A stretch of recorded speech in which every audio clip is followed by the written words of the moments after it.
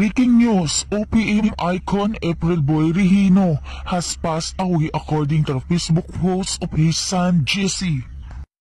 April Boy Regino, born Dennis Regino Magluyuan Magdaraog on April 9, 1969, was a recording artist from the Philippines who popularized some of the novelty songs. Paano ang puso ko? Umiiyak ang puso, hindi ko kayang tanggapin.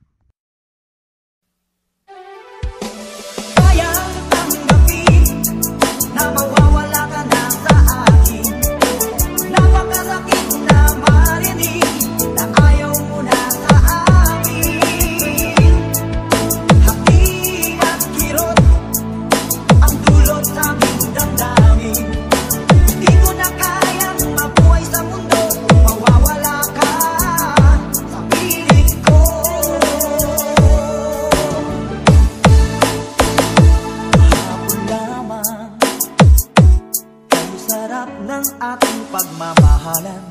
Ang sabi mo pa, ang ibig mo'y walang hanggan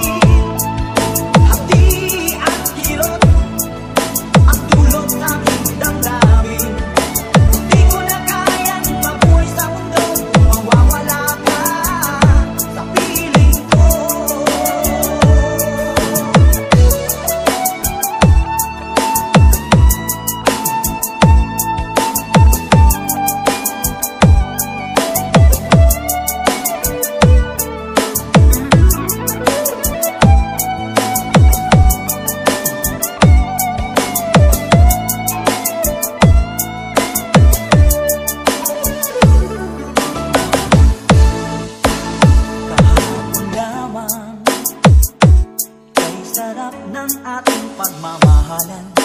Ang sabi mo pa, pag-ibig mo walang hanggan